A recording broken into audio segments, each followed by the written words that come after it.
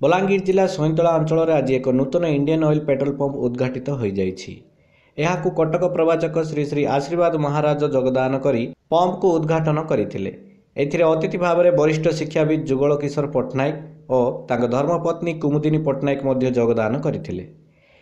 ଏହି ସଇଁତଳା ଅଞ୍ଚଳରେ ମାତ୍ର ଗୋଟିଏ ପମ୍ପ ରହିଥିବାରୁ ଲୋକେ ଅସୁବିଧାର ସମ୍ମୁଖୀନ ହେଉଥିଲେ। ହେଲେ ଆଜି ମା ଚଣ୍ଡେଶ୍ୱରୀଙ୍କ ନାମରେ ନାମିତ ପେଟ୍ରୋଲ ପମ୍ପ ଉଦ୍ଘାଟିତ ହୋଇଥିବାରୁ ଲୋକଙ୍କ ମନରେ ଉତ୍ସାହ ଦେଖିବାକୁ ମିଳିଥିଲା। ଏହି କାର୍ଯ୍ୟକ୍ରମରେ ଶ୍ୱେତା ଅଗ୍ରୱାଲ ଓ ସୌରଭ ଅଗ୍ରୱାଲ କର୍ତ୍ତା ଦାୟିତ୍ୱ ତୁଲାଇଥିବା ବେଳେ ପଣ୍ଡିତ ଭାବରେ କିରଣ ମିଶ୍ର ଓ ମାନସ ମିଶ୍ର ପୂଜା ଅର୍ଚ୍ଚନା କରିଥିଲେ। ବହୁତ ସୁବିଧା ହେଲା ଗାଁରେ। ଗୋଟେ ପେଟ୍ରୋଲ ମିଶିଲା ବହୁତ ଅସୁବିଧା ହେଉଥିଲା ଲୋକଙ୍କୁ। ସବୁ ଜିନିଷ ଆଭେଲେବୁଲ୍ ହେଉଛି ଏହା ସବୁ ଆଭେଲେବୁଲ୍ ହେବା। ଯେକୌଣସି ବିଜନେସ୍ରେ କମ୍ପିଟିସନ୍ ଦରକାର। କମ୍ପିଟିସନ୍ରେ ବିଜନେସ୍ ଗ୍ରାହକଙ୍କୁ ସୁବିଧା?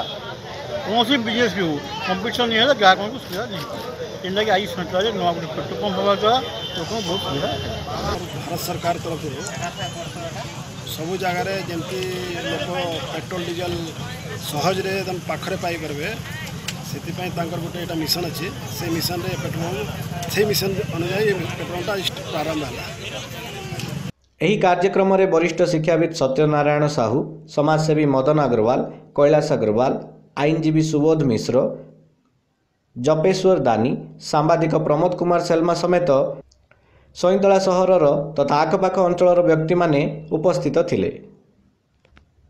ବଲାଙ୍ଗୀର ଜିଲ୍ଲା ସଇଁତଳାରୁ ପ୍ରମୋଦ କୁମାର ସେଲମାଙ୍କ ରିପୋର୍ଟ ଉତ୍କଳ ଖବର।